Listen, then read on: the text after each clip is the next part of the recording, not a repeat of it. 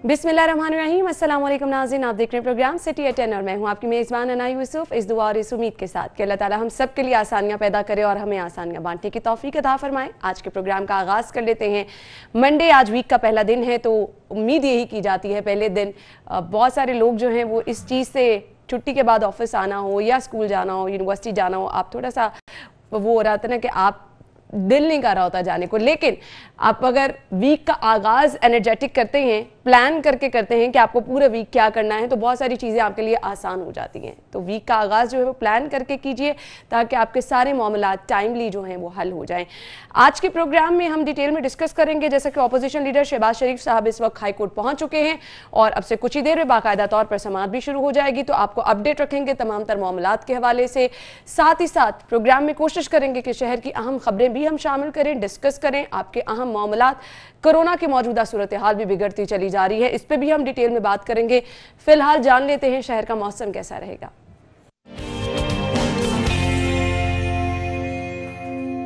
जुनेद ने हमें ज्वाइन किया है। जी जुनेद, बताइए वेदर अपडेट्स क्या हैं?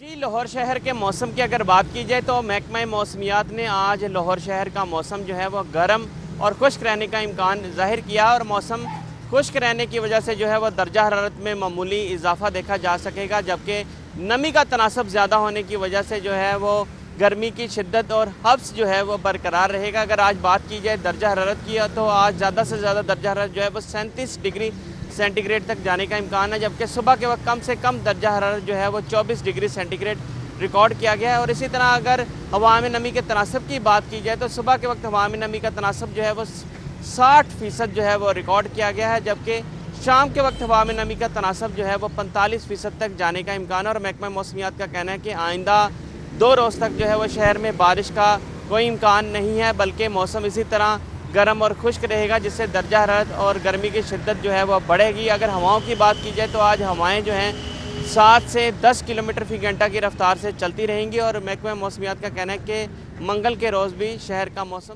खुशकी रहे। ठीक है, बहुत शुक्रिया। Thank you so much Junaid. आप हमारे साथ मौजूद थे। मौसम की सूरत हाल आपने बताई। कुछ शहर की सूरत हाल जान लेते हैं। और सबसे पहले जो आज की अहम खबर है, उसकी तरफ़ बढ़ेंगे। हमारे पास आज बड़ी खबर है अपोजिशन लीडर शहबाज शरीफ साहब जो है मनी लॉन्ड्रिंग केस में पेश हुए हैं। टॉप स्टोरीज हमारे पास। सबसे पहली खबर ये है, लाहौर ये खबरदार, चौबीस घंटे में कोरोना के छियासी नए मरीज़, कोरोना फिर से सर उठाने लगा है। टूरिज़्म पंजाब ऐप का अफ्ताह, आवाम की जिंदगियों में आसानियाँ पैदा करना ही हकीकी इनकलाब है, वज़ीर अला उस्मान बुजदा।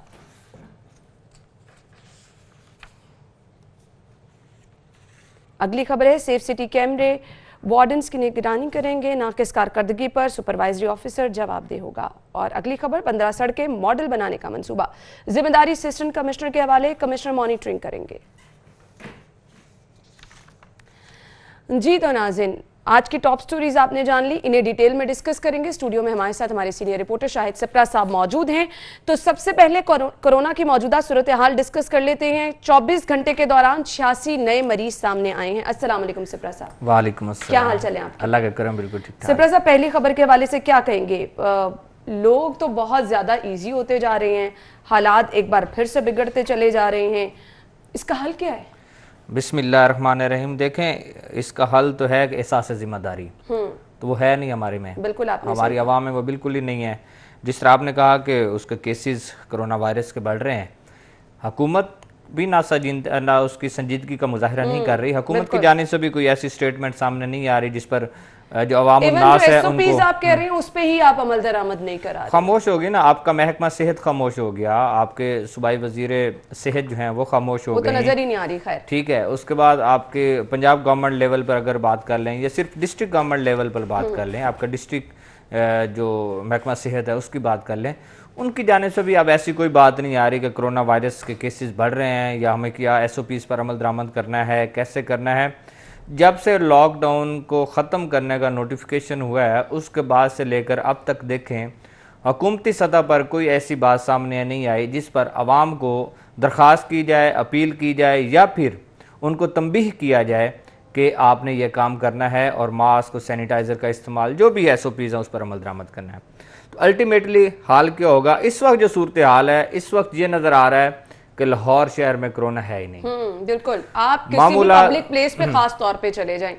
बाज़ार जाने का इतफाक हो कोई चीज़ खरीदारी के लिए आप बाहर जा रहे हैं वैसे आप घर से बाहर निकले आपको कहीं ये चीज़ नज़र भी नहीं आएगी कि लोगों को थोड़ा सा भी खौफ डर या वो एक होता ना कि आप जिस तरह हमने पीक टाइम में देखा कि लोग बहुत ज़्यादा केयर कर रहे थे बिल्कुल भी नहीं है ये वही मार्च का अख्ताम था और अप्रैल का शुरू था उस वक्त थोड़ा सा हुआ और उसके बाद जब शरह अमवात में इजाफा हुआ उसके बाद लोग थोड़ा खौफ ज़्यादा हुए और फिर कुछ वीडियोस जब आप सोशल मीडिया पर आई कि जो टीमें हैं वो किस तरह काम कर रही थी उसके बाद थोड़ा डर तो पैदा हुआ लेकिन वो ख़त्म हो गया।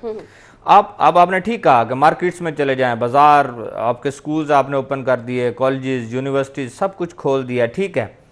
अब मुझे एक क्वेश्चन है मेरा कि स्कूल में कॉलेज में यूनिवर्सिटी में जो भी बच्चा या तलबा और तालबात आएँगे आप उनको तो कोरोना एस पर अमल दरामद करवा लेंगे। लेकिन जब वो स्कूल के गेट से या यूनिवर्सिटी और कॉलेज के गेट से निकलेंगे और उसके बाद फिर उसी तरह होगा कि मामूलात ज़िंदगी जिस तरह आम शहरी गुजार रहा है बिल्कुल। उसी तरह गुजारेंगे और फिर अगले दिन फिर वही बच्चे जो हैं इकट्ठे होकर पढ़ेंगे और वहाँ पे उनकी जो निज़ाम तलीम है वो चलेगा।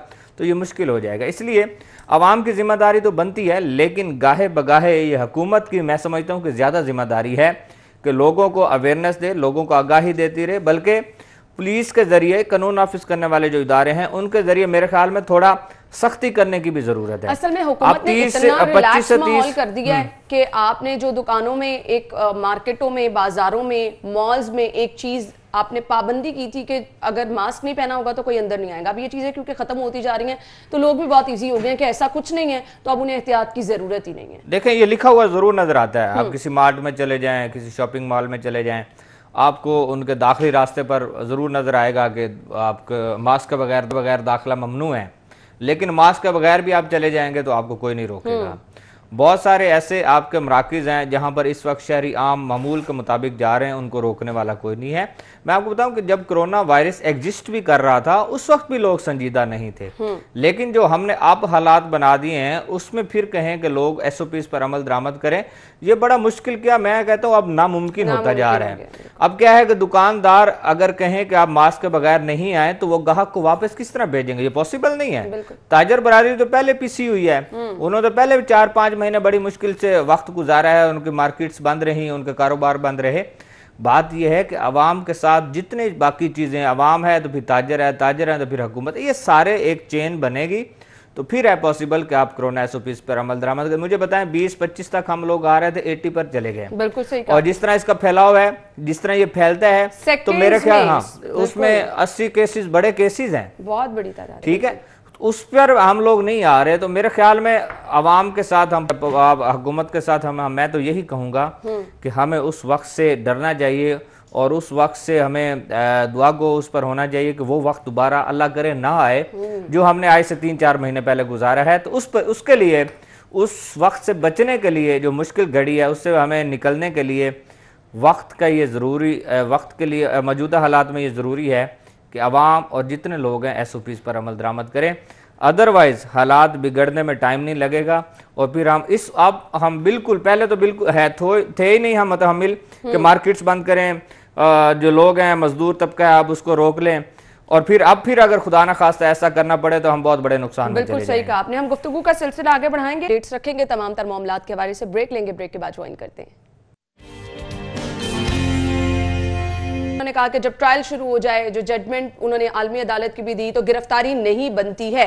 फवाद चौधरी साहब कहते हैं गिरफ्तारी होनी चाहिए तो फिर किस तरह से गिरफ्तारी हो जाएगी? देखिए पाकिस्तान तहरीक इंसाफ के जितने वज्रा हैं या उनके रहनुमा हैं अगर हम उनकी बात करें तो उनकी तो ये ख्वाहिश है कि शुबा शरीफ साहब जो हैं वो गिरफ़्तार हों और आज उनकी जमानत कैंसिल हो। उनकी स्टेटमेंट्स आज से नहीं है। शेख रशीद साहब को ले लें विफाकी वज़ीर उनकी फवाद चौधरी साहब हैं उनकी शहजाद अकबर जो मामन खसूसी हैं अकाउंटेबिलिटी के उनके ये सब इनके जब बयान लेते हैं तो शायद उनकी ख्वाहिशात इसी तरफ़ जा रही होती हैं कि ये आपकी अपोजिशन जो है और अपोजिशन लीडर जो है शबाज शरीफ गिरफ़्तार हूँ। बात यह है कि जजमेंट तो आपके जो वहाँ पे दलाइल होने हैं उस पर होनी है मुकम्मल।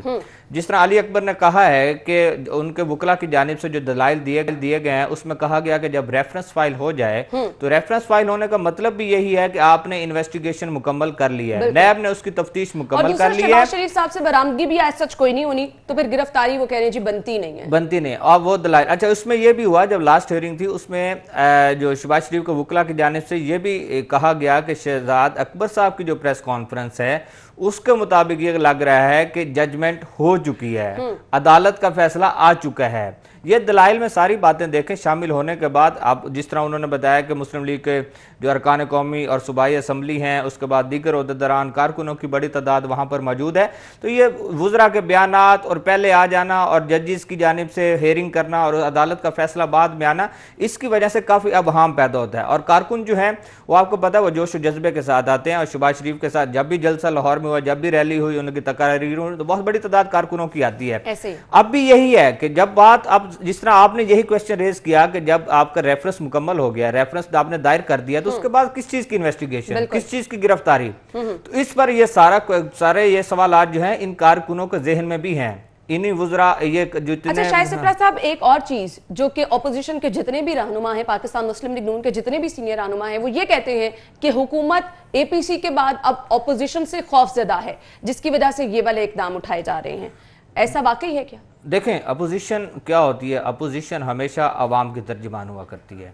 और आवाम की तर्जमान किस तरह हुआ करती है कि अगर साहिब इकतदार या आपके हुक्मरान आवाम को वो सहूलतें और वो बुनियादी चीज़ें फ्राहम करने में जब नाकाम ठहरें, जिसमें आपकी रोज़गार शामिल है, अशियाए ज़रूरिया शामिल हैं दिग्गर जितने अवामिल हैं, आप रोज़गार की बात कर ले, ये अच्छा फिर जितने नारेबाजी और जितने आपने वादे वहीद किए, सब अगर उस पर आप पूरा नहीं उतरते और महँगाई जिस तनासब से बढ़ रही है इसमें आपकी अपोजिशन अहम किरदार अदा करती है और आवाम के साथ खड़ी होती है। और लोगों की तो मतलब दुखती रग बन चुकी है मैं आपको बताऊँ आप देख लें कि दो तीन रोज में आप अभी इकतीस को ये अभी तीस को सितंबर को एक और हेयरिंग है बिजली की कीमतों पर फ्यूल एडजस्टमेंट की शायद वो भी बढ़ जाए। हम्म। दो दिन पहले आपने क्वार्टर टैरिफ भी बढ़ा दिया। ये जब चीज़ें मिलती हैं तो मुझे ये बताएँ कि आवाम की बात करने के लिए कोई तो मौजूद होगा? जिनको आप कहते हैं कि हम इन्हीं वोटर्स के के ज़रिए हम लोग इकतदार में आए हैं तो इन वोटर्स का ख्याल किसने करना किसने है? करना कि वोट लेने के बाद इनको अपने हाल पे छोड़ देना है। आज जो हालात बने हुए हैं यही बने हैं कि अवाम को पूछने वाला कोई नहीं है। और उसमें अगर अपोजिशन ठीक है सियासी मकासद भी होते हैं। हम्म। मैं ये नहीं कह रहा कि सिर्फ़ अपोजिशन का मुतहद होना अपोजिशन का इतिहाद जो है या मिलकर बैठ जाना तमाम जमातों का सिर्फ़ सियासी होगा या अवाम की तर्जमानी होगी।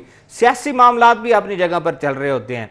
लेकिन बेसिकली जो बुनियादी मकसद यही होता है कि आवाम के साथ जो ज्यादतियाँ हो रही हैं आवाम को जो मुश्किल में धकेला जा रहा है उस पर बात की जाए लेकिन वो इतिहाद या इस तरह मिलकर बैठना भी जो आपके साहिब इकतदार हैं उनको अच्छा नहीं लगा हम्म। और उस पर आपने बयान आपने सुन रहे हैं कि एपीसी को किस तरह आप उसको शो कर रहे हैं एपीसी ऑल पार्टीज़ कॉन्फ्रेंस का आपने नाम क्या दे दिया साहब की हाँ। गुफ्तु भी आपने सुनी वो कहते हैं जी एपीसी में लाहे अमल पूछा जब उनसे तो उन्होंने ये कहा जी हमारा लाहे अमल जो एपीसी में डिसाइड हो चुका है उस पर हम अमल दरामद करेंगे चाहे गिरफ्तारियाँ हों चाहे जो कुछ भी हो हम डरने वाले नहीं हैं। शरीफ साहब की जो लास्ट प्रेस कॉन्फ्रेंस है उसमें बड़ा क्लियर था कि अगर मैं गिरफ़्तार होता हूँ तो हम्म। मेरे जो एपीसी के फैसले हैं उनको दीगर जो रहनुमा है वो लेकर आगे चलेंगे। अब ये तो नहीं है कि एक बंदे को आप गिरफ़्तार कर लें या वो गिरफ़्तार हो जाए या अदालती फैसले की रोशनी में उसको गिरफ़्तार कर लिया जाए तो उसके बाद आप कहें कि एक मुस्लिम लीग नवाज़ के कारकुन या जितने रहनुमा है वो बैठ जाएँगे। ये पॉसिबल नहीं है। ऑल पार्टीज़ कॉन्फ्रेंस में जो डिसीज़न हुआ जिस तरह उन्होंने कहा कि हम लोग इस्तीफों की तरफ़ भी जा सकते हैं हमने एहतजाज भी करना है तो पाकिस्तान तहरीक इंसाफ को अपना भी तो चौदह का 2014 को देखना चाहिए। बिल्कुल। उन्होंने भी एहतजाज किया उन्होंने भी मार्चिस किए उन्होंने भी आपके रेड जोन एरिया में जाकर एहतजाज किए और क्या हुआ? पूरी दुनिया ने देखा वो चीज़ें। तो आज अगर अपोजिशन कह रही है कि हम लोग महँगाई के खिलाफ बेरोजगारी के खिलाफ या सियासी जो इंतकाम किया जा रहा है उसको भी हमेशा कहा जाता है कि हमारे साथ सियासी इंतकाम किया जा रहा है। उसके खिलाफ अगर वो आवाज़ बुलंद करे तो उस पर आप कहें कि हम लोग अच्छा, जेल में भेज देंगे इस मामले की तरफ़ हम आएँगे क्योंकि हम बात कर रहे हैं अवाम की और हम बात करें कि ऑपोजिशन अवाम की बात को लेकर आगे चल रही है। एपीसी में जो तमाम तलाह अमल तय किया गया वो इसी एजेंडे पर था कि अवाम की मुश्किल को कम करना है महँगाई को कम करना है बेरोजगारी को कम करना है। सीएम साहब की स्टेटमेंट मेरी नज़रों के सामने आई है और वो ये कह रहे हैं कि अवाम की ज़िंदगी में आसानियाँ पैदा करना हकीकी इनकलाब है। कहाँ अवाम की ज़िंदगी में आसानी पैदा की है? अवाम का तो जीना दोबर कर दिया गया है।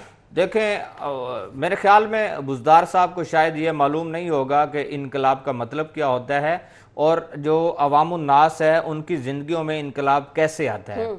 दो से तीन चीज़ें हैं बेसिक जिस पर आपकी आवाम जो है खुश भी हो सकती है नाखुश भी हो सकती है और इवन खुदकुशियाँ भी होती हैं लड़ाई झगड़े फसादात भी होते हैं हम्म। सबसे पहले क्या है कि आपकी इनकम क्या है आपके पास रोज़गार क्या है हम्म। दूसरा क्या है कि आप जो अशिया जरूरिया खरीद रहे हैं उनकी कीमतें महँगाई का तनासब किया है। तीसरा क्या है कि आपकी गवर्नमेंट आपको तमाम चीज़ें होने के बावजूद आपको फैसिलिटेट किस तरह कर रही है। सब्सिडी का मामला आप देख लें इस तरह के मामला जो है। यहाँ क्या हो रहा है कि आपकी सब्ज़ियाँ आपके फल अच्छा ये साइड पे रख दें। मुझे ये बताएँ कि बुनियादी ज़रूरत आटे के बगैर कोई घर नहीं चल सकता। बिल्कुल आपने सही कहा। आज मुझे दो से तीन महीने हो गए जनरल स्टोर जो है जो मार्ट है उन्होंने आटा रखना छोड़ दिया है। बिल्कुल। जब वजह उनसे पूछी जाती है वो ये कहते हैं कि हमें जी मिल मालकान जो है या आप मार्केट से हमें महँगा आटा मिलता है और जब हम जनरल स्टोर या छोटे तो स्टोर पर रख के बेचते हैं है कि वो सरकारी तो हमारे जो मजिस्ट्रेट्स हैं वो आ जाते हैं हमारा चलान करते हैं और हमें गिरफ़्तार कर लेते ना हैं। सिर्फ़ आटा चीनी आप देखें कि आधी कीमत से भी ज़्यादा हो चुकी है। डबल होगी ना तिरपन रुपए थी साठ पे गई बासठ पे गई नोटिस हो गया सौ प्लस चली गई। ये तो हम लाहौर तो की बात कर रहे हैं। ये लाहौर की बात कर रहे हैं हम। आप मजाफात में चले जाए आप रूरल एरियाज़ में चले जाए देही इलाकों में चले जाए इससे भी बुरे हालात होंगे। तो फिर मुझे बताएँ कि ये इनकलाब है इस तरह इनकलाब आया करते हैं जी आवाम की बिल्कुल। जिंदगियों में। इस आपके पास रोज़गार नहीं महँगाई आप बढ़ाए जा रहे हैं। अच्छा मुझे तो अद्वियात पे जो स्टेटमेंट आई मुझे याद आ बिल्कुल सही कह रहे हैं आप। मैं कहता मतलब हूँ आपने कि अफसोस करना चाहिए। ज़िंदगी जीरन कर अफसोस करना चाहिए कि अद्वियात की फ्राहमी यकीनी बनाने के लिए हम लोग कीमतें बढ़ा रहे हैं। बिल्कुल। इसका क्या मतलब है? आप माफिया के सामने सरेंडर कर रहे हम्म। हैं आप घुटने टेक रहे हैं कि हम आपने जो बात की हम कीमतें बढ़ा देते हैं। खुदारा बाज़ार और मार्केट में या मेडिकल स्टोर्स पे या फार्मेसीज पे या अद्वियात को फ्राहमी यकीनी बनाया जाए तो ये रियासत हम्म, है बिल्कुल रियासतें इस तरह चला करती हैं फिर रियासत मदीना का नाम दिया जाता है। कम आप जो अब ऑपोजिशन को तनकीद का निशाना बना रहे हैं और शहबाज शरीफ साहब के दौर में कम अज कम ये था कि आपको अस्पतालों में अद्वियात मिल रही थी। अस्पतालों में इलाज मुआलजा मिल रहा था। इतना बिगाड़ महकमा सेहत का वाकई नहीं था। आपने जिन जिन चीज़ों के नारे लगाए, आपने वहीं पे ही सूरत हाल इतनी खराब कर दी है कि आम आदमी के लिए मुश्किल होगी। सिप्रा साहब, हम गुफ्तु का सिलसिला आगे बढ़ाएँगे। ब्रेक लेंगे, नाजिन ब्रेक के बाद आपको ज्वाइन करते हैं। ब्रेक के बाद आपको एक बार फिर से खुश आमदीद कहेंगे और ब्रेक से पहले हम गुफ्तगू कर रहे थे महँगाई के हवाले से ऑपोजिशन के एपीसी के एजेंडे के हवाले से कि आवाम के लिए अब आवाज़ उठाई जानी है और आवाम के लिए बाहर निकलना है। लेकिन साथ ही साथ जितने भी ऑपोजिशन रहनुमा हैं लीगी रहनुमा इस वक्त वहाँ पर मौजूद हैं वो ये कह रहे हैं कि इंतकामी कार्रवाई का निशाना बनाया जा रहा है। सिप्रा साहब क्या कहेंगे आप? देखें एहतसाब सबका जो है ना ये नारा और फिर होना भी चाहिए। आप सिर्फ़ अपोजिशन को पकड़े हैं। आपने पहले शरीफ खानदान को पकड़ा। शरीफ खानदान पे केसेस बने। नवाज़ शरीफ मरीम नवाज़ हमजा शबाज शबाज शरीफ सब पे बन गए उनके बेटों पे।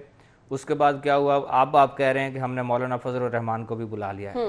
तो फिर क्या एहतसाब सिर्फ़ अपोजिशन का रह गया है? बिल्कुल। तो बुजदार साहब का अपना उस्मान बुजदार जो सीएम साहब का अपना जो केस है उसको आगे बढ़ाए ना उस पर पूछें कि किस तरह वो केस करवाया गया किस तरह वो लाइसेंस जो है उसका इजरा हुआ वो सारी चीज़ें हैं। तो मेरे ख्याल में अगर हुकूमत उसको बैलेंस करके चले तो फिर आवाज़ इस तरह की नहीं उठेगी इस तरह की आवाज़ें नहीं आएँगी कि इंतकामी सियासत की जा रही है या इंतकाम का निशाना बनाया जा रहा है। जब वो अपनों के खिलाफ भी कार्रवाइयाँ करेंगे। लेकिन यहाँ क्या है कि हमने सिर्फ़ अ, शायद गवर्नमेंट को मेरे ख्याल में ये खौफ भी है कि अपोजिशन मुतहद हो और फिर कहा तो जाता है कि हमें कोई खौफ नहीं है लेकिन हमेशा साहिब इकतदार जितने भी लोग होते हैं अपोजिशन उनको टफ टाइम देती है और उस वक्त देती है जब वो फ्रेंडली अपोजिशन ना हो। और अब जो ये अपोजिशन है वो मेरे ख्याल में वो फ्रेंडली अपोजिशन नहीं है। अब वो देखें मुस्लिम लीग नवाज़ की जानब से या उनके कायद मियाँ नवाज़ शरीफ की जानब से जो स्टेटमेंट्स आई हैं उसमें बड़ा क्लियर मैसेज है कि हम लोग अब अपोजिशन का किरदार अदा करेंगे। और उनके साथ सारे जो बाकी जमातें हैं वो खड़ी हुई हैं। अच्छा इन केस अगर शहबाज शरीफ साहब की आज गिरफ्तारी हो जाती है तो ऑपोजिशन की जमातों में भी इतिहाद बहुत ज़्यादा ज़रूरी है। फिर सवाल ये पैदा होता है कि आया पाकिस्तान पीपल्स पार्टी और दीगर जमातें जो हैं वो पाकिस्तान मुस्लिम लीग नून का साथ देंगी क्योंकि ऑपोजिशन रहनुमा है शहबाज शरीफ और अगर इनकी गिरफ्तारी हो जाती है तो ऑब्वियसली कहीं ना कहीं अगर जितने भी ऑपोजिशन के रहनुमा हैं वो तहरीक को आगे लेके चले भी तो कहीं ना कहीं तो वो मुतासर होने का खदशा है। तो ऑपोजिशन की अपनी जमातों में भी इतिहाद होना बहुत ज़्यादा ज़रूरी है। देखें इसमें तो कोई शक नहीं है कि ये उस वक्त कामयाबी होगी अगर आप इस्तीफे दें या आप लोग मार्च करें या एहतजाज करें जब सारी जमातें मुतहद होंगी और उनका जो एलामिया है जो एजेंडा उन्होंने तैयार किया है उस पर मुतफिक होकर चलें। हाँ शबाज शरीफ साहब की अगर गिरफ्तारी हो जाती है आज उनकी जमानत कैंसिल हो जाती है तो उसका इफ़ेक्ट क्या आएगा? बहुत सारे कारकुन ऐसे हैं जिनकी शबाज शरीफ साहब को वो पसंद करते हैं। बहुत सारे कारकुन उनके साथ निकलने होंगे वो शायद ना निकलें लेकिन जो मुस्लिम नवाज़ का ये है कि आप वो मियाँ नवाज़ शरीफ के साथ उनकी भी मोहब्बत है। बिल्कुल। नवाज़ शरीफ के नाम पे बहुत सारे लोग जो है वो निकलते हैं। तो अगर शबाज शरीफ गिरफ़्तार हो जाते हैं जब बाहर निकलती हैं तो आप देखते हैं लोगों का मेरी बात सुने है। आप मरियम नवाज़ शरीफ को वो जल्द से देख लें जो उन्होंने मजाफात के इलाकों में किए और उसके बाद जब उनको गिरफ़्तार कर लिया गया तो इससे क्या मैसेज है कि रात तीन चार बजे तक आपके देहाती इलाकों में या देही इलाकों में जलसा कामयाब हो जाना और हज़ारों की तादाद में लोगों का खड़े रहना ये क्या था? आज अगर शबाज शरीफ गिरफ़्तार होते हैं तो उसके बाद मेरे ख्याल में लीडरशिप जो नवाज़ शरीफ मुस्लिम लीग नवाज़ के पास है तो वो मरियम नवाज़ साहिबा ही बिल्कुल बिल्कुल। वही लीड करेंगी। तो मेरे ख्याल में अगर मरियम नवाज़ शरीफ निकलती हैं तो बहुत बड़ी तादाद में कारकुन जो है उनके साथ होंगे और पीपल्स पार्टी और जमीयत उलमा इस्लाम और बाकी जितनी जमातें हैं वो भी उनके साथ होंगी। लेकिन इफ़ेक्ट ज़रूर आएगा। हम लोग कहें कि शबाज शरीफ की गिरफ्तारी के बाद अपोजिशन के जानिब से जो प्लान तरतीब दिया जा रहा है चाहे इस्तीफों का हो एहतजाज या रैलीज का जो भी हो इफ़ेक्ट गिरफ्तारी ज़रूर हो होगा जाती है मुतासिर तो ज़रूर होगा। को दोबारा से एक नई हिकमत अमली बनानी पड़ेगी ना। वो मतलब आप मेन आपके लीडर जो हैं अगर गिरफ़्तार हो जाते हैं तो फिर आपको बैठ के एक नई हिकमत अमली पर गौर करना है कि अब आपको बहुत स्ट्रांगली कैसे आगे होके चलना है। क्योंकि एक बड़े लीडर का गिरफ़्तार हो जाना ऑब्वियसली फिर वो आगे आपके लिए मुश्किल भी हो सकती है। देखें ये बात मेरे ख्याल में ऑल पार्टीज़ कॉन्फ्रेंस जब हुई और उसमें भी डिस्कस हुई होगी ज़रूर। बिल्कुल। उनकी क्योंकि हेयरिंग्स चल रही थी ऑलरेडी आपके हाई कोर्ट में। तो मैं वही कह रहा हूँ कि उसका मुतासर ज़रूर होगा। आप ये कहें कि वो जो एजेंडा बनाया गया है जो प्लान तरतीब दिया गया है शबाज शरीफ साहब अगर गिरफ़्तार होते हैं तो कुछ ना कुछ मुतासर ज़रूर होगा। लेकिन अगर जमातें मुतहद रहीं और उन्होंने इतिहाद के साथ अपनी कोशिशें जारी रखी तो फिर मेरे ख्याल में जो खला आएगा इनकी इनकी इनकी तरफ़ से तो मरियम नवाज़ शरीफ जो है उसको पूरा कर लेंगी वो पूरा हो जाएगा लोग कारकुन निकलेंगे भी सही। अच्छा होता क्या है कि जब आपकी ये अपोजिशन जमातों ने जब इनको निकलना है तो नारा यही होना है ना बेरोजगारी है महँगाई है तो इनमें लोग खुद निकलेंगे। बिल्कुल। देखें उन इस वक्त आवाम जिस हालत में गुजर रही है आप सोच भी नहीं सकते। मैं ये कहता हूँ कि शायद साहिब इकतदार जो लोग हैं उनको इस बारे में मालूम भी नहीं होगा कि आज 1500 या 2000 किसी का बिल आ जाए तो वो सबमिट करवाना उनके लिए बड़ा मुश्किल हुआ हुआ है। मैंने लोगों को उसकी किस्तें करवाते देखा हुआ है। सफ़ेद पोश तबका आपका बहुत पिस रहा है। बिल्कुल सही कह अच्छा फिर आपने स्कूल्स भी खोल दिए अखराजात भी बढ़ गए और कोरोना का इफ़ेक्ट अभी चल रहे हैं और साथ में महँगाई बढ़ती जा रही है। मुसलसल अब तीस चालीस रुपए घी बढ़ा दिया है। बिल्कुल सही कह और रहे वो ब्रांड्स आपने बढ़ा दिए जो आपका गरीब और मतवसत तबका खरीदता है। बिल्कुल सही कह रहे हैं। और उसकी कीमतें बढ़ा दी। रूटीन की रूटीन की चीज़ें आपने सब्ज़ियाँ खरीदनी है आपने आटा खरीदना है ये तो पहले ही पहुँच से बाहर हो चुकी है। मजीद हम बात करते हैं नाजिन ब्रेक लेंगे। ब्रेक के बाद आपको ज्वाइन करते हैं हमारे साथ रहिएगा। प्लान बनाया गया है उस पर अमल दरामद हर सूरत होगा। यानी ऑपोजिशन इस मामले पर जो है वो मुतफिक है कि अगर शहबाज शरीफ साहब की गिरफ्तारी हो भी जाती है तो उनका प्लान चेंज नहीं होने वाला है। देखें उनके सबक वज़ीर कानून भी हैं और बड़े अहम रहनुमा भी हैं और वो भी रहे आपके सामने हैं उन पर भी केसेस रहे उन्होंने भी जेल काटी और कई दफ़ा काटी है लेकिन अभी जो मौजूदा हुक्मरान हैं उनकी जब हुकूमत में भी काट दी। बात ये जिस तरह हम पहले भी बात कर रहे थे कि ऑल पार्टीज़ कॉन्फ्रेंस का जो एजेंडा है जो प्लान बनाया गया है उस पर अमल दरामद होना ही है।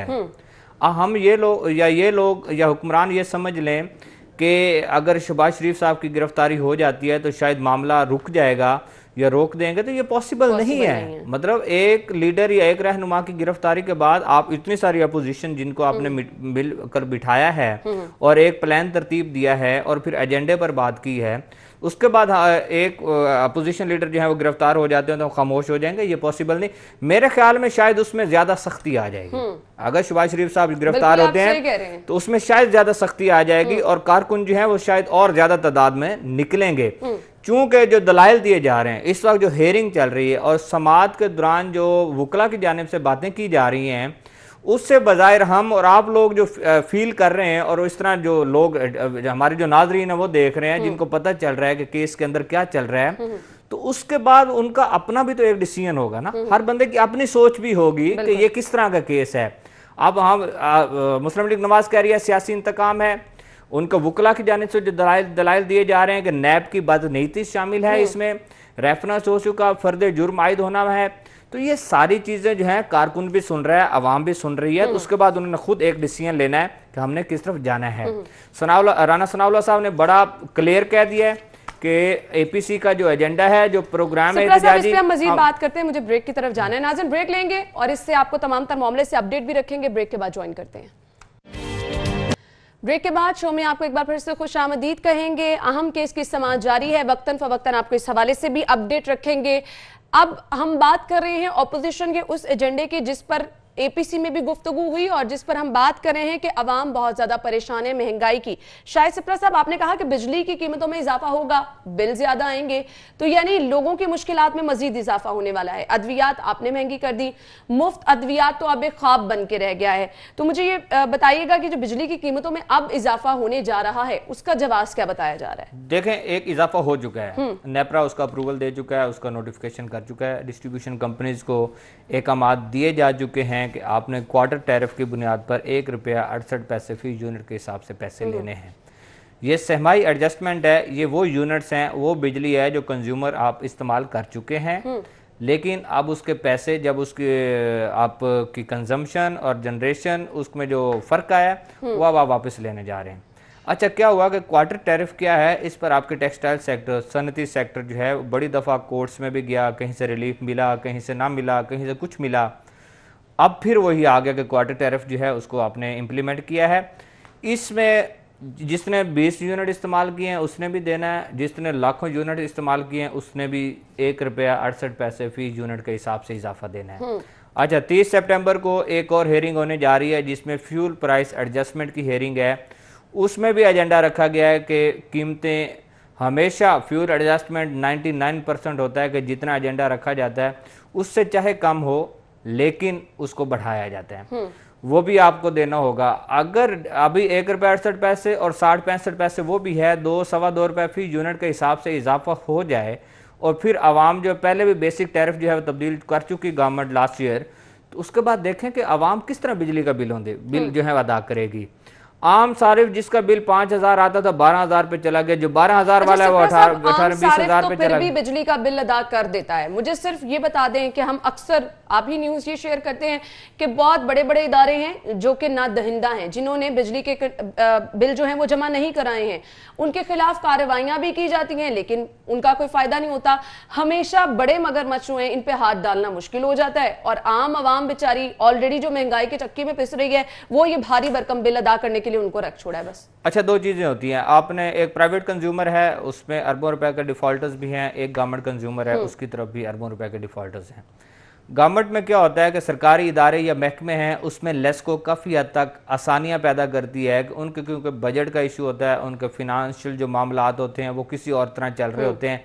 कहीं से आपको पैसा आना है उन्होंने बिलों की सूरत में अदा करना है आपने समरी मूव किया है उसकी अप्रूवल आनी है फिर आपने बिल सबमिट करवाना है तो इसलिए उनको फ़ायदा दिया जाता। है हाँ जो प्राइवेट कंज्यूमर है उसको फ़ायदा नहीं दिया जाता। प्राइवेट कंज्यूमर अगर डिफ़ॉल्ट करता है बिलखसूस कमर्शियल और सनती सेक्टर तो उसकी डिस्कनेक्शन की जाती है। डिस्कनेक्शन करने के बाद उसका जितना ट्रांसफार्मर या उसके मीटर्स हैं उसको उतार लिए जाते हैं।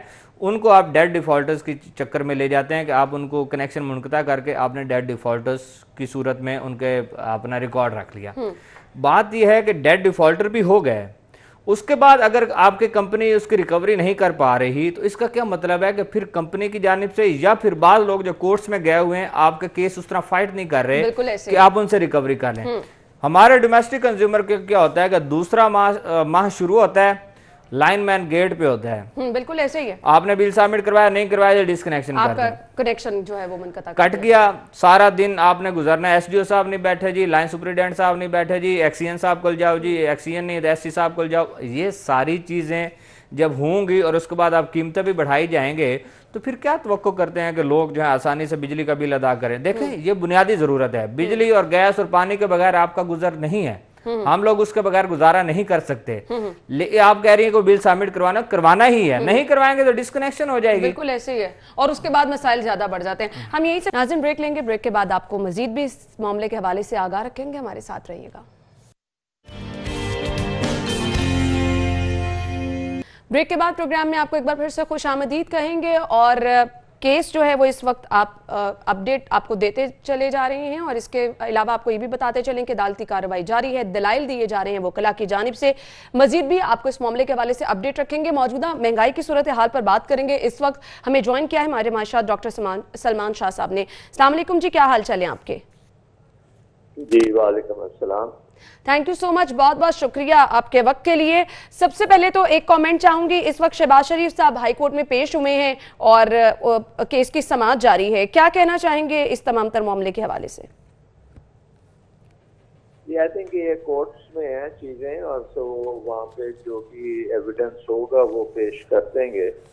तो आई थिंक उससे पता लग जाएगा कि इसमें कोई गलत बात हुई है या नहीं हुई। सो आई थिंक एक अच्छी बात है कि किस्म की अकाउंटेबिलिटी जो है सारे अब कोर्ट्स में पहुँच गई है और कोर्ट्स डिसाइड करेंगे सही। सलमान साहब लेकिन ऑपोजिशन के रहनुमाओं की जानब से ये भी कहा जा रहा है कि इंतकामी सियासत का निशाना बनाया जा रहा है इंतकाम का निशाना बनाया जा रहा है। इस पर क्या कहना चाहेंगे? नहीं आई थिंक ये तो अब कोर्ट्स ही बताएँगे कि अगर उसमें वाकई कुछ हकीकत है इन चीज़ों में जो प्रोसिक्यूशन कह रही है आ, तो वो फिर सामने आ जाएगी। तो आई थिंक ये तो अब कोर्ट्स में जब फैसला आएगा उसके बाद ही कमेंट किया जा सकता है कि ये कामी कार्रवाई थी या वाकई इसमें कोई हकीकत थी। क्योंकि एक तो ये है कि पब्लिक ऑफ़िस होल्डर्स को अपनी अकाउंटेबिलिटी करना बड़ी ज़रूरी बात है। और इस लिहाज से ये कोर्ट में पेश हो रहे हैं और बड़ी अच्छी बात है कि वो वहाँ पे अपनी सफ़ाई पेश करेंगे। सही। सलमान साहब, एक अहम मामला, अवाम का, ये सबसे बड़ी अवाम के लिए इस वक्त परेशानी जो बना हुआ है वो है महँगाई। अद्वियात महँगी हो गई अवाम की पहुँच से बिल्कुल ही दूर हो गई है। मुफ़्त अद्वियात वाला तो अब एक ख्वाब ही रह गया है। बिजली महँगी हुई, मजीद भी आगे महँगी होने जा रही है। दो वक्त की रोटी आवाम से खाना मुश्किल हो गया है। आटा महँगा है, चीनी बहुत ज़्यादा महँगी हो चुकी है। अब ये बढ़ती हुई महँगाई पे अवाम तो बहुत ज़्यादा परेशान है। ये महँगाई थमने पे नहीं आ रही है। क्या समझते हैं? इसकी वजूहत क्या है? देखिए, इसकी बहुत बहुत वजूहत हैं। एक तो ये है कि पाकिस्तान की इकोनॉमी जो है, उसमें वो प्रोडक्टिविटी लेवल्स नहीं है, जो और कम्पिटिटिवनेस नहीं है, जो आदमी इकॉनमी में जिसकी ज़रूरत है। और उसकी वजह ये है कि हमने रिफॉर्म्स जो इकतदी रिफॉर्म्स हैं, उसमें बहुत टाइम लग गया। है आपको पता है कि ये पूरी दुनिया में रिफॉर्म्स जब सोवियत यूनियन टूटा था और बर्लिन की दीवार गिरी थी, उसके बाद सारी दुनिया ने रिफॉर्म्स की हैं। लेकिन हमें उस किस्म की रिफॉर्म्स नहीं की जिससे हमें ये पैदावार में इजाफा हो, मार्केट्स में सप्लाई ठीक हो, जो भी डिमांड है आवाम की उसको पूरा किया जाए। अभी भी आप देखते हैं कि पाकिस्तान में बहुत सी चीज़ें जो हैं वो आलमी मंडी से महँगी हैं और उनको प्रोटेक्शन भी दी जा रही है और इम्पोर्ट भी आप नहीं कर सकते क्योंकि आपके पास जर मुबादला भी बहुत कम है। तो इन चीज़ों में बहुत से इश्यूज़ आ रहे हैं जिसमें नंबर वन इशू ये है कि आपने अपनी इकॉनमी की जो पैदावारी कुत है उसको बढ़ाना है। अगर आप देखें ज़रात में हमारी जो पर एकड़ यील्ड्स हैं वो दुनिया से आधी से भी कम है और उसमें जिद्दत लाने की ज़रूरत है। यूनिवर्सिटीज़ रिसर्च सेंटर्स हमारा बीच जो है वो इंटरनेशनल स्टैंडर्ड का नहीं है। तो ये सारी चीज़ें जो हैं पिछले कई सालों से हमने इग्नोर की हैं और अब वक्त आ गया कि अब ये सारी चीज़ें दुरुस्त हों। पूरी जो चेन्स हैं सप्लाई चेन्स और वैल्यू चेन्स जो हैं, उनमें हर किस्म की जदीद रिसर्च भी आए और बेहतरीन तरीक़ेकार भी आए। सो वर्कर्स भी हमारे ज़्यादा से ज़्यादा ट्रेन हों और उसका ये फ़ायदा होगा कि एक तो आवाम के लिए चीज़ें भी सस्ती होंगी और दूसरा हम एक्सपोर्ट्स भी कर सकेंगे। अब हम इतनी महँगी चीज़ें बनाते हैं तो वो एक्सपोर्ट आप कैसे करेंगे?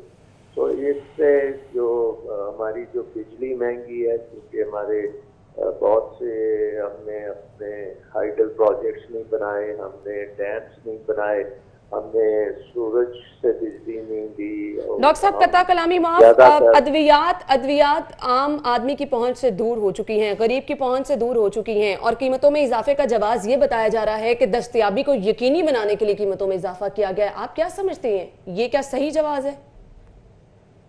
देखिए, इसमें ये है कि बहुत सी दवाएँ जो हैं, वो हमारी इम्पोर्टेड होती हैं। और उनका जो रॉ मटेरियल है, वो भी इम्पोर्टेड होता है। और वो इन दवाओं की जो टेक्नोलॉजी है, वो भी हमने इम्पोर्ट की हुई है। और जब आप देखें कि डॉलर आपका डिवेल्युएशन होती है तो जैसे गाड़ियाँ जो हैं, वो महँगी होती हैं। जो चीज़ भी इम्पोर्टेड होती है, वो महँगी हो जाती है। अब इसके लिए हमें ज़रूरी ये है कि हमें जो आम आदमी के लिए बहुत ज़रूरी दवाएँ हैं उसके लिए सब्सिडीज देनी पड़ेंगी और उनके उनको उस दवाई तक रसाई पहुंचानी पड़ेगी। चले सलमान साहब जैसा तो कि आपने फरमाया जैसा कि आपने फरमाया कि बहुत सारी अद्वियात इम्पोर्टेड हैं अब आटा तो यहाँ पर ही वो तो इम्पोर्टेड नहीं है उसकी महँगा महँगा होने का क्या जवाब है? चीनी महँगी होने का क्या जवाब है? देखिए, इसका जवाब ये है कि चीनी, अब पहले चीनी को ले लें। दुनिया में चीनी जो है, वो सस्ती तरीन है। और पाकिस्तान में एक चीनी का जो निज़ाम खड़ा किया गया है, वो प्रोटेक्शन के पीछे खड़ा किया गया है। यानी कि बैरून मुल्क से आप सस्ती चीनी नहीं मंगवाएँगे, लेकिन जो हमारे कारखाने महँगी चीनी बनाएँगे, वो आप आवाम को देंगे और आवाम उसकी उसको भुगत रहे हैं। सो so, ये एक क्योंकि आपको पता है कि चीनी में बहुत ज़्यादा पॉलिटिकल ओनरशिप है बड़े बड़े कार्टेल्स हैं बड़े बड़े ख़ानदान हैं जिनकी शुगर मिल्स हैं और उनको मराद भी मिल जाती हैं। इसी तरह अगर आप वीट के मामले में देखें तो वीट में हमारी बीज जो है और जो वीट में रिसर्च होनी चाहिए वो इतनी ख़राब है कि दुनिया बहुत सस्ती गंदम बना लेती है और हमारी जो गंदम है वो एक तो महँगी होती है और दूसरी उसकी प्राइस जब आप नहीं बढ़ा सकते तो फार्मर जो है उसको नुकसान भी ज़्यादा होता है। सो हमारा फार्मर गरीब भी होता जा रहा है और आवाम जो है उसको आटा भी नहीं मिल रहा। तो ये इसका इमीडिएट तो ये है कि जितनी भी वीट आप इंपोर्ट कर सकते हैं और आपके पास जरे डॉक्टर साहब सितम तो ये है कि आवाम भी मजीद गरीब ही होती चली जा रही है। आवाम को भी रिलीफ कहीं से मिलता नज़र ही नहीं आ रहा आवाम की परेशानियों में भी इजाफा होता चला जा रहा है और इस पर अनफॉर्चुनेटली कोई सोचने वाला भी नहीं है। थैंक यू सो मच आपके वक्त का बहुत बहुत शुक्रिया। डॉक्टर सलमान शाह साहब हमारे साथ मौजूद थे और महँगाई के हवाले से आपने उनकी गुफ्तगु भी सुनी। शायद सिप्रा साहब क्या कहेंगे आप? गुफ्तगु सारी आपने भी सुनी है। देखें अद्वियात की बात हो रही है कि हम लोग इंपोर्ट करते हैं आटे की बात हो रही है तो उस पर भी जवाब हमारे पास मौजूद है कि हमें सब्सिडी देना पड़ेगी अदरवाइज़ हम आटा जो है उसको सस्ता नहीं कर सकता। तो पूरी दुनिया में हुकूमतें सब्सिडी देती हैं। इसमें तो नहीं है कि हम सब्सिडी ना दें ना दें। अच्छा फिर क्या है कि गंदुम आप अच्छा जो आप इंपोर्ट करते हैं उसके अलावा गंदुम तो हमारी अपनी पैदावार है। बिल्कुल। गंदुम तो हमारे पास वाफिर मकदार में होनी चाहिए। और हुई हुई भी है इसमें कोई शक नहीं है। खुद दावा किया कि रिकॉर्ड गंदुम इस दफ़ा आपके पास मौजूद मौजूद है। अच्छा फिर प्राइम मिनिस्टर साहब ने 2020 में ये भी कहा कि मानसून है बारिश हो रही है उसकी वजह से इफ़ेक्ट भी आएगा। चलें इफ़ेक्ट आया है कुछ ना कुछ आया। अगर इफ़ेक्ट ज़्यादा आया होता तो किसान आज रो रहा होता। बात यह है कि चौदह पंद्रह सौ रुपए फ़ी मन वाली गंदुम इस वक्त बाईस रुपए बाईस सौ रुपए तक चली गई सही कह रही आटा आपका दस्तियाब नहीं है जनरल स्टोर्स पर मार्ट्स पर कहीं पर अवेलेबिलिटी इसकी नहीं है।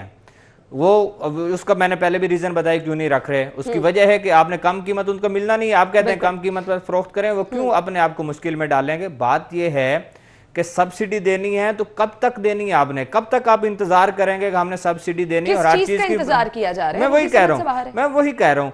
एक चीज़ हमारे पास मौजूद होने के बावजूद हम जो आवाम है उस तक ये पूरा तरीके से नहीं पहुँचा पा रहे हैं। और फिर चक्की जो मालकान एसोसिएशन की बात कर लें उनकी जाने से कीमतें बढ़ाई गई हैं। देखें बात यह है कि गंदम की कीमत बढ़ेगी तो आटा बढ़ेगा। इसमें कोई शक नहीं है, चाहे मिल मालकान को हम जिम्मेदार ठहरा लें, चाहे गवर्नमेंट को ठहरा लें, जिसको मर्ज़ी ठहरा लें। मैं कह रहा हूँ कि चौदह सौ रुपये फ़ी मन वाली गंदुम हम लोग बाईस सौ पर लेके गए हैं और अभी पाँच से छः महीने बाकी हैं। बिल्कुल। अभी दो महीने के बाद काश तो नहीं है गंदुम? बिल्कुल फिर ऐसे तीन महीने में वो तैयार होनी और चौथे महीने में जाकर कटाई होनी है उसकी। हालात मजीद बिगड़ जाएँगे। और छह महीने तक अगर हमें इंतज़ार करना पड़ा और ये बाईस सौ रुपए वाली गंदुम का रेट जो है मेरे ख्याल में तीन हज़ार पर चला जाएगा और इतना बड़ा बहरान आ जाएगा आटे का कि आप सोच भी नहीं सकते। बात यह है कि हुकूमत इस तरफ़ संजीदा ही नहीं है। आपकी जो आप इनकलाब लाना चाह रहे हैं तो आप उनकी बुनियादी जरूरियात तो पूरी करें कम अज कम। बिल्कुल बिल्कुल। आप उनका जो पेट पालने के लिए या बच्चों को खिलाने के लिए जो रोटी है वो तो कम से कम पूरी करें। मुझे लगता है कि ये जो है ना मनफी इनकलाब की बात बार बार करते हैं क्योंकि एक्चुअली तो ग्राउंड रियलिटीज यही है कि अवाम जो है वो मुसलसल परेशान होती जा रही है और हुकूमत बात कर रही है इनकलाब की। देखें इनकलाब आते भी हैं दुनिया में आए भी हैं अवाम अवाम ही लेकर आती है अवाम ही साथ देती है तो इनकलाब आया करते हैं हुकूमतें कुछ नहीं ला सकती हम्म। जब तक पब्लिक आपके साथ नहीं है तो आप इनकलाब नहीं ला सकते आप कह रहे हैं कि हम उनकी जिंदगियों में इनकलाब लाना चाह रहे हैं तो इनकलाब लाने के लिए आपकी उनकी जिंदगियों को आपको खुशहाल करना होगा हम्म। उनको आपको आपने ऐसी सहूलतें देना है जिससे वो खुशहाल होंगे वो खुश खुश खुरम अपनी ज़िंदगी गुजार सकेंगे। हम्म। अगर वो खुश व खुरम अपनी ज़िंदगी नहीं गुजार सकते और दिन रात 24 घंटे इसी तजब्जुब का शिकार हैं कि कल को हमने उजरत क्या लेनी है कल हमारी इनकम क्या होगी कल हमने जो ख़रीदारी करनी है या वीकली जो हमने ख़रीदारी करनी है उसका हमारे बजट पर क्या इफ़ेक्ट आएगा? फिर महीने बाद बिजली का बिल गैस का बिल पानी का बिल ये सारी अदायगी करनी है और इनकम आपकी डाउन होती जा रही है। अखराज आपके बढ़ते जा रहे हैं। तो ऐसे में जब आप लोगों से कहें कि हम आपके लिए इनकलाब ला रहे हैं तो मेरे ख्याल में थोड़ा सा इस बयान पर हमारे बुजदार साहब जो वज़ीर आला हैं इनको सोचना चाहिए कि ये कौन सा इनकलाब है कि लोगों के पास रोटी नहीं है। अभी रात में एक सोशल मीडिया पर देख रहा था किसी एक रिपोर्टर के साथ किसी शहरी की बहस हो रही थी। वो ये कह रहा था कि आपको नहीं पता कि क्या हो रहे हैं हालात। आप हम लोगों से पूछने आ गए आप वहाँ जाएँ जहाँ पर हालात ठीक हैं। बिल्कुल। उस शहरी का कहने का मकसद यह था कि किसी जगह पर हालात ठीक नहीं है। वो तलाश पता है। दें ऑब्वियसली सही कह। रहे हैं आप। सिप्रा साहब हम गुफ्तगू का सिलसिला आगे बढ़ाएँगे। अपोजिशन लीडर शहबाज शरीफ के खिलाफ मनी लॉन्ड्रिंग केस की समाज जारी है और इस वक्त दलाइल वकला की जानब से दिए जा रहे हैं। रेफरेंस दायर हो चुका है गिरफ्तारी का कोई जवाब नहीं आज़म रिजी तार साहब की जानब से कहा जा रहा है। लेकिन इसके बावजूद रोशन इम्कान ये हैं कि शहबाज शरीफ की आज गिरफ्तारी हो जाएगी। इसी पर हम बात करेंगे। सीनियर तजियाकार सलीम बुखारी साहब ने हमें ज्वाइन किया है। Thank you so much Saleem Bukhari साहब आपके वक्त का बहुत बहुत शुक्रिया। क्या कहना चाहेंगे? इस वक्त वकला की जानब से दलाइल दिए जा रहे हैं और लीगी रहनुमा, जो कि इस वक्त कमरा अदालत में और बाहर भी मौजूद हैं, उनकी जानब से बारहा ये कहा जा रहा है कि इंतकाम का निशाना बनाया जा रहा है। वाज तौर पर यह कहा जा रहा है कि रेफरेंस दायर हो चुका है तो गिरफ्तारी नहीं बनती है। जबकि फवाद चौधरी साहब तो ये कहते हैं कि गिरफ्तारी होनी भी चाहिए। किन बुनियादों पर होनी चाहिए फिर?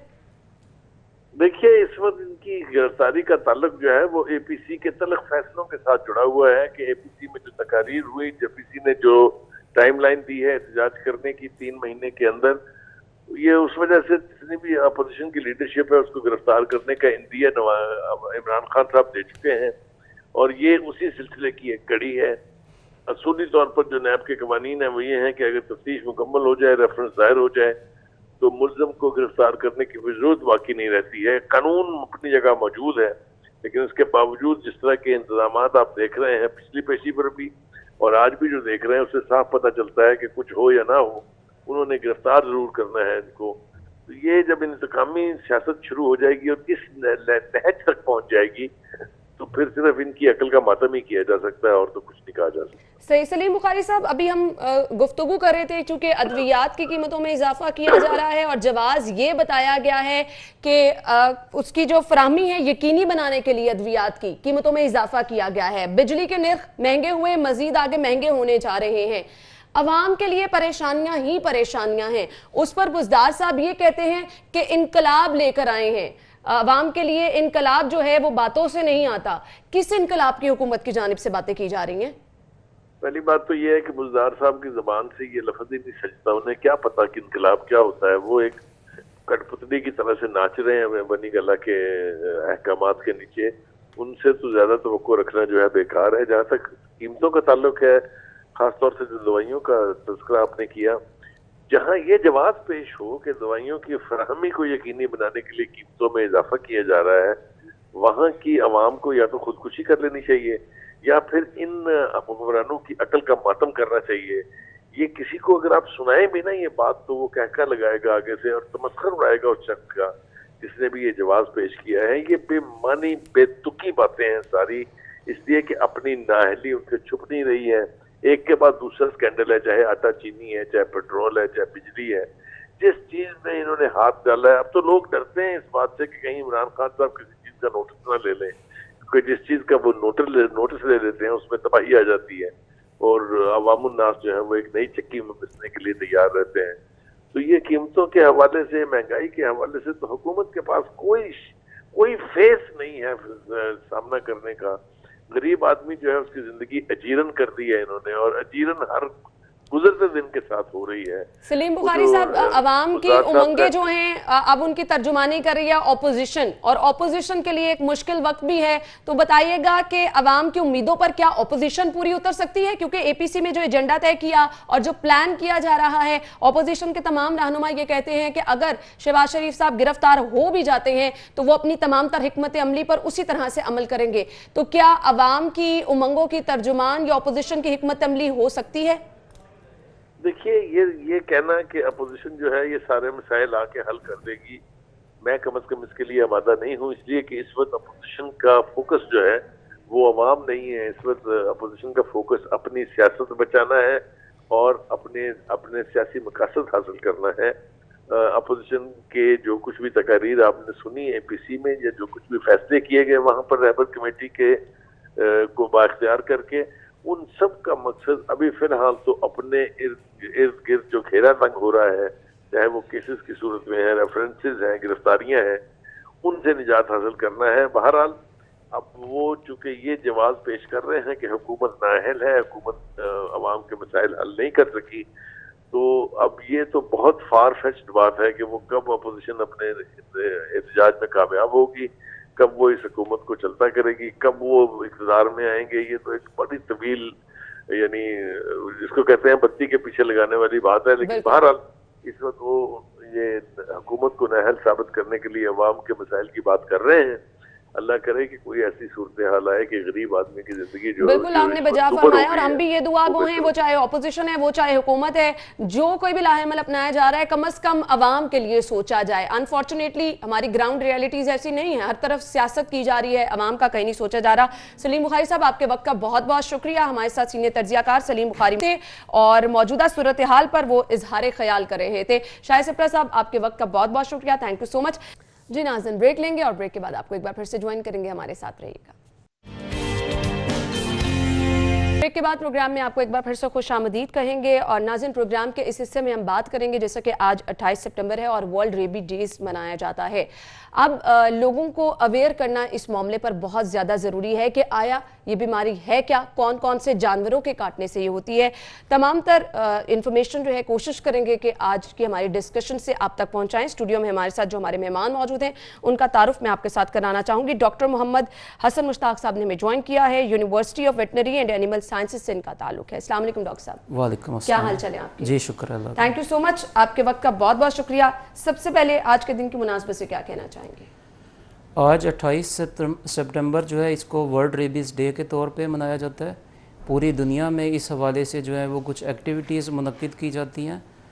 तलीमी हलकों में इसी तरह जो सेहत से मुतल इदारे हैं उनमें इसके बारे में आगही पैदा करने के लिए डिफरेंट एक्टिविटीज़ की जाती हैं हम्म। मसलन वॉक्स का अरेंज किया जाता है सेमिनार्स का अरेंज किया जाता है वैक्सीनेशन कैंप्स लगाए हम्म। जाते हैं इसी तरह हमारे मुल्क में भी ये तमाम एक्टिविटीज़ सेहत वाले और हमारे जो वेटनरी साइड के लोग हैं वो इन तमाम एक्टिविटीज़ में भरपूर हिस्सा लेते हैं हम्म। मुझे ये बताएगा रेबीज़ है क्या रेबीज़ एक बीमारी है जो जानवरों से इंसानों में मुंतकिल होती है और ये एक ऐसी ऐसी बीमारी है जो एंशियंट हिस्ट्री से इंसानों को मालूम है यानी अगर इसकी हम बात करें तो ये कबल मसीह में भी इसके हमें जो शवाहिद हैं वो मिलते हैं कि हम्म। लोग इसको उस वक्त से जानते हैं हम्म। ये बीमारी बुनियादी तौर पे इंस, इंसानों में जानवरों से मुंतकिल होती है हम्म। यहाँ मैं एक आवाम की आगही के लिए एक चीज़ बताता चलूँ कि तकरीबन 70 परसेंट जो इन्फेक्शन हैं हम्म।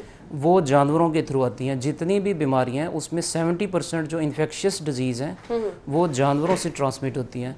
और रेबीज़ उनमें से ही एक बीमारी है। सही कौन कौन से जानवरों के काटने से बीमारी होती है? जी ये बुनियादी तौर पे अगर हम कहें कि रेबीज़ के जितने भी केसेस हैं ऑल ओवर दी वर्ल्ड तो उसमें से 99 परसेंट हम कह सकते हैं कि ये कुत्ते के काटने से होती है। लेकिन अदर देन दैट अगर हम बात करें तो बहुत सारी वाइल्ड लाइफ है जिसमें बैट्स हैं या चमगादड़े हैं इसी तरह फॉक्स है जेकाल्स हैं ये जो न्योला जिसको हम कहते हैं मंगूस और बहुत से ऐसे वाइल्ड एनिमल्स हैं जिनके काटने से ये बीमारी जानवरों से इंसानों में मुंतकिल हो सकती है। सही। अच्छा डॉक्टर साहब बहुत सारे लोगों ने पेट्स अपने घर में रखे होते हैं और बहुत सारे लोग हैं जिन्होंने डॉग अपने घर में रखे हैं। अब अब लोगों में ये अवेयरनेस नहीं है कि किस तरह से उन्होंने अपनी हिफाजत करनी है किस तरह से अपने पेट को जो है वो उन्होंने रखना है क्या क्या उसके लिए एहतियाती तदाबीर हैं। फिर हम देखते हैं कि ये वाकयात भी इसी वजह से रूनुमा होते हैं। तो क्या कहना चाहेंगे? सजेशन क्या देना चाहेंगे? इसमें मैं ये समझता हूँ कि हमें बात करनी पड़ेगी पूरी दुनिया को और फिर पाकिस्तान को मद्देनज़र रखते हुए। पूरी दुनिया में अगर हम देखें तो एक सिस्टम है कि जितने भी पेट एनिमल्स हैं उसमें डॉग कैट या अदर एनिमल्स तो उनको रजिस्टर किया जाता है। उनकी वैक्सीनेशन का पूरा शेड्यूल जो है वो एक रिकॉर्ड की शक्ल में उस जानवर के साथ होता है। और कहीं भी आप उसको प्रेजेंट कर सकते हैं कि मेरा ये जानवर है और ये उसका वैक्सीनेशन लेकिन अनफॉर्चुनेटली हमारे यहाँ तो ऐसा कोई सिस्टम ही नहीं है। सिस्टम नहीं है लेकिन अगर मैं ये कहूँ कि हमारी आवाम में इसकी अवेयरनेस नहीं है तो ये कहना गलत होगा। हमारे जो पेट ऑनर्स हैं जो डॉग कैट या इस तरह के जानवरों को रखने के शौकीन हैं they are very well aware of vaccine भी करवाते हैं और उसका ख्याल भी रखते हैं और उनको इस चीज़ का भी पता है कि बहुत सी ऐसी बीमारियाँ नॉट ओनली रेबीज़ जो जानवरों से इंसानों में आती हैं तो वो अगर कभी उन्हें स्क्रैच लग जाए या बाइट कर जाए तो वो फौरी तौर पे रुजू करते हैं हॉस्पिटल से या कहीं से वो एडवाइस लेते हैं। सही। अच्छा डॉक्टर साहब जैसा आपने कहा कि स्क्रैच लग जाए ये वो छोटी छोटी चीज़ें हैं जिनको हम नज़रअंदाज कर देते हैं। हम कहते हैं कि इस पे डॉक्टर पे डॉक्टर के पास जाने की ज़रूरत ही नहीं है। हम घर में खुद इलाज कर लेते हैं। तो इसकी कोई स्पेसिफिकली अलामत भी हैं बीमारी की? जी ये बीमारी अगर हम इसकी बात करें तो जानवरों में इसकी कुछ अलामत हैं और कुछ हम कह सकते हैं कि इंसानों में दो हवालों से। जानवरों में इसकी दो फॉर्म्स नज़र आती हैं इलामात के हवाले से। एक डम्ब रेबीज़ और एक फ्यूरियस रेबीज़ फ्यूरियस रेबीज़ वो है जिसको आम तौर पे लोग जानते हैं कि जानवर जो है वो एग्रेसिव हो जाएगा वो काटेगा वो भागेगा आपकी तरफ़। ये तो फ्यूरियस रेबीज़ है। इससे तो हर बंदा जो है वो अवॉइड करेगा इस तरह के जानवर से। लेकिन एक डम्ब रेबीज़ होती है जो कि यही बीमारी है और इंसानों में भी मुंतकिल हो सकती है लेकिन अक्सर लोगों को इसका पता नहीं चलता क्योंकि इसमें जानवर किसी तरह के कोई ख़ास साइन शो नहीं कर रहा। अच्छा। उसको सिर्फ़ पैरालिसिस हो गया है या वो लिथार्जिक लग रहा है। आपको लगेगा कि शायद कमज़ोरी की वजह से या इसको कोई पैरालिसिस हो गया है। या आप समझेंगे इसको कोई और इंटरनल बीमारी है लेकिन असल में वो भी रेबीज़ होती है। तो वो डम्प फॉर्म ऑफ़ रेबीज़ जो है वो ज़्यादा ख़तरनाक है कि हम उसकी तरफ़ उस तरह से तवज्जो नहीं देते। बिल्कुल। और इसी तरह ये सिर्फ़ कुत्तों से नहीं बल्कि हमारे और जो डोमेस्टिक एनिमल्स हैं मसलन डंकीज हैं हॉर्स है कैटल बफलो अब ये वो जानवर हैं जो हमारे गाँव में फार्मर हजरात के पास अक्सर होते हैं। बिल्कुल ऐसे ही है ऐसा ही है। डॉक्टर साहब अब इसका इलाज क्या है? और कितना ज़रूरी है कि फौरी तौर पर आप डॉक्टर से रिजू करें? अगर हम इसके इलाज की बात करें तो मेडिकल टर्म्स में हम ये कहेंगे कि इसका कोई इलाज नहीं है। अच्छा। कि ये एक ऐसी बीमारी है जिसमें 100 परसेंट जो है वो डेथ है। अच्छा। लेकिन इसकी हम प्रिवेंशन कर सकते हैं उसको हम कहते हैं कि पोस्ट जो प्रोफाइलैक्सिस है कि कुत्ते के काटने के बाद जो है वो डिपेंड ऑन के ज़ख़म कितने दर्जे का है। उसको हम कैटेगराइज करते हैं कि पहले दर्जे का है दूसरे या तीसरे दर्जे का। तो उसके मुताबिक हम फिर इसको जो काटे के बाद की वैक्सीन है वो लगा सकते हैं। अक्सर लोगों ने सुना हुआ है कि कुत्ता काटने की शक्ल में जो है वो चौदह टीके लगते हैं लेकिन अब जो है डब्ल्यू एच ओ की या वैक्सीन के ऊपर मज़ीद रिसर्च के बाद जो है ये डोजेज़ कम हो गई हैं। अब हम अगर कुत्ता काटा है उसके वोंड के ऊपर डिपेंड करते हैं उसके वोंड की नेचर को देखते हुए हम पाँच या चार वैक्सीन जो हैं वो उसको लगा के तो इस बीमारी से बचा जा सकता है। लेकिन अगर आप ये कहें कि हिफाजती तौर पे इसकी वैक्सीन तो उसकी हमें आम लोगों को ज़रूरत नहीं है। सही। आम आवाम को हिफाजती वैक्सीन की ज़रूरत नहीं। सिर्फ़ वो लोग जो ऑक्यूपेशनल रिस्क पे हैं जैसे वेटनेरियंस हैं वो या पेट ऑनर्स हैं तो वो लोग जो जानवरों के साथ कांटेक्ट में हैं उनको इसकी वैक्सीन की ज़रूरत है। सही। डॉक्टर साहब मुझे ये बताइएगा अ, ये इंतहाई जैसा कि आपने कहा कि 100 परसेंट चांसेज हैं कि इससे डेथ होती है। तो हुकूमत इस मसले को लेकर एज सच हमें उतनी संजीदा नज़र नहीं आ रही। क्योंकि कुत्ते के कांटे के वाकत हमने पूरे पाकिस्तान में देखा है रिकॉर्ड कराची की अगर बात की जाए सिंध की बात की जाए इवन लाहौर में भी बहुत ज़्यादा हमने देखा कि पीछे कार्रवाइयाँ डिस्ट्रिक्ट गवर्नमेंट की जानब से की गई हैं। कितना ज़रूरी है इस मामले को संजीदा लेना? और रेबीज़ की अगर हम बात करें तो पूरी दुनिया में बहुत सारे ममालिक ऐसे हैं जहाँ पे कि रेबीज़ डेथ्स नहीं होती ख़ास तौर पे जो केनाइन रेबीज़ है या जो डॉग वाली रेबीज़ है उससे डेथ्स नहीं होती। अगर वहाँ पे रेबीज़ है तो वो दूसरे बैट्स वगैरह या दूसरे जानवरों की है। ज़्यादातर जो ये बीमारी है ये एशिया और अफ्रीका के ममालिक में है। और उसमें बदकिस्मती से हमें ये कहना पड़ेगा कि पाकिस्तान जो है वो उन उस कैटेगरी में आता है जहाँ पे कि एक्सेसिव डेथ्स हैं। उसको हम कैटेगराइज करते हैं कि फुली फ्री या माइल्ड या एक्सेसिव तो पाकिस्तान उन ममालिक में है जहाँ पे कि एक्सेसिव डेथ्स हैं। अब अगर हम ये बात करें कि गवर्नमेंट इस मामले में संजीदा है या नहीं तो गवर्नमेंट ने इसके ऊपर कई एक्शन लिए हैं। जब कराची में केसेस हुए तो उसमें भी जो ज़िले इंतज़ामिया है, वो हरकत में आई। और यहाँ पे मैं कहता चलूँ कि एक पूरी दुनिया में इस वक्त एक स्लोगन चल रहा है। वो स्लोगन है ज़ीरो बाई थर्टी। स्लोगन का मतलब ये है कि पूरी दुनिया ये चाहती है कि एक ग्लोबल टारगेट अचीव करें, जो ज़ीरो बाई थर्टी मीन्स कि हम zero deaths by twenty thirty तो इस प्रोग्राम के ऊपर पाकिस्तान भी चल रहा है और हम्म। इसी के तहत जो है हमारे मुल्क में मुख्तलिफ़ जगहों पे डॉक्टर साहब आई होप के इन मामला पर जो है फौरी तौर पर अमल दरामद भी हो क्योंकि ये वक्त की अहम ज़रूरत है। सिर्फ़ अवेयरनेस नहीं नहीं इस पर काम भी बहुत ज़्यादा ज़रूरी है। देखने वालों को मैसेज क्या देना चाहेंगे? देखने वालों को ये मैसेज है कि जो पेट ऑनर्स हैं उनको तो लाजमी इस चीज़ का ख्याल करना चाहिए कि वो अपने जानवरों की वैक्सीन करवाएँ उसमें हम्म। किसी तरह की कोताही ना करें क्योंकि ये उनकी और उनके बच्चों की ज़िंदगी का सवाल है हम्म। और उसके अलावा जो बाकी लोग उसके साथ इन कॉन्टेक्ट आ सकते हैं उनका भी हम्म। दूसरी चीज़ ये है कि जो in case of dog bite अगर आपको कुत्ता काट ले तो फौरी तौर पर अपने जो करीबी सेहत का मरकज़ है वहाँ पर रबता करें क्योंकि इसको कभी भी लाइट नहीं लेना चाहिए हम्म, कभी भी इसको इलाज जो है वो आपके लिए नुकसान का बायस बन सकता है। Thank you so much doctor साहब। इसी नोट पे आपसे इजाज़त चाहेंगे। नाजिर मुझे ब्रेक लेनी है। ब्रेक के बाद हम शो में आपको दोबारा ज्वाइन करेंगे। हमारे साथ रहिएगा। जी तो नाजिन, अहम खबर आपने जान ली और जैसे कि हम बात कर रहे थे कि हर जगह महँगाई ही महँगाई है। अद्वियात महँगी, बिजली महँगी होने जा रही है, यानी आवाम के लिए आसानी कहीं पर भी नहीं है। हसन की जानब रुख करते हैं और उनसे जान लेते हैं क्या सब्ज़ियाँ भी आज महँगी हुई हैं। जी हसन, बताइए। बिल्कुल, शहर में अगर सब्जियों की कीमतों की बात की जाए तो कीमतों में कोई कमी जो है नज़र नहीं आती और ख़ासतौर पर सरकारी नरखनामे की बात की जाए तो सरकारी नरखनामे में चार सब्जियों की कीमतों में इजाफा जो है वो कर दिया गया है। शहर के मुख्तलिफ़ इलाकों में टमाटर जो हैं वो सौ रुपये से लेकर और डेढ़ सौ रुपये तक फ़रोख्त किए जा रहे हैं। प्याज साठ से सत्तर रुपये जबकि आलू जो है वो सत्तर से नब्बे रुपये में फ़रोख्त हो रहे हैं। इसी तरह से अगर दीगर सब्जियों की कीमतों की बात की जाए तो लसन जो है वो तीन सौ से साढ़े तीन सौ, जबकि अदरक जो है वो छः सौ रुपये से लेकर साढ़े छः सौ रुपये तक फ़रोख्त किया जा रहा है, जबकि लीमू जो है वो एक सौ अस्सी रुपये में फ़रोख्त किए जा रहे हैं। जबकि अगर बात की जाए मौसमी सब्जियों के हवाले से तो मौसमी सब्जियों कीमतों में भी कोई कमी नज़र नहीं आती। और अगर ख़ास तौर पर बात कीजिए मटर की तो मटर जो हैं, वो दो सौ रुपये से लेके और ढाई सौ रुपये फ़ी किलो तक शहर के मुख्तलिफ़ इलाकों में फ़रोख्त किए जा रहे हैं। टिंडे जो हैं, वो सौ से डेढ़ सौ रुपये में फ़रोख्त किए जा रहे हैं। भिंडी जो है, वो एक सौ बीस रुपये से लेके और डेढ़ सौ रुपये तक शहर के मुख्तलिफ़ इलाकों में फ़रोख्त की जा रही है। शहरीों का ये कहना है कि हुकूमत को चाहिए कि वो अपने जारी करदा सरकारी नरफनामे के मुताबिक शहर भर में सब्जियों की फ़रोख्त को यकीनी बनाएँ, ताकि आम शहरीों को, आम सार्फिन को महँगाई के इस दौर में ठीक है thank you so much Hasan आप हमारे साथ मौजूद थे और हमें बता रहे थे मार्केट में सब्ज़ियाँ किस कीमत पर मिल रही हैं। तो यानी अवाम का एक ही मुतालबा है कि खुदारा हुकूमत महँगाई कंट्रोल कर दे और अवाम को रिलीफ दे दे। इसी के साथ ही प्रोग्राम का वक्त अपने अख्ताम को पहुँचा। अपना बहुत सारा ख्याल रखिएगा मुझे दुआओं में याद रखिएगा। ज़िंदगी रही तो कल सेम टाइम पर आपसे मुलाकात होगी। अल्लाह हाफिज़।